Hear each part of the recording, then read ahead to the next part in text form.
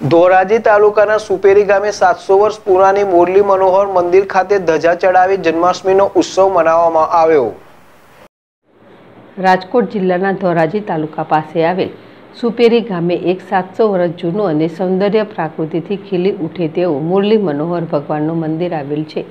આ મંદિર પર દરેક ધાર્મિક તહેવારો ઉપર અસંખ્ય માનવ મહેરામણ આવતા હોય છે અને એક જૂનવાની પ્રાકૃતિથી ભરપૂર મંદિરના દર્શન કરતા હોય છે. આ મંદિરમાં ખૂબ જૂના સમયની નકશીકામથી ભરપૂર તેમજ એકદમ બારીકાઈથી કોતરકામ કરેલ મૂર્તિઓથી ભરપૂર છે.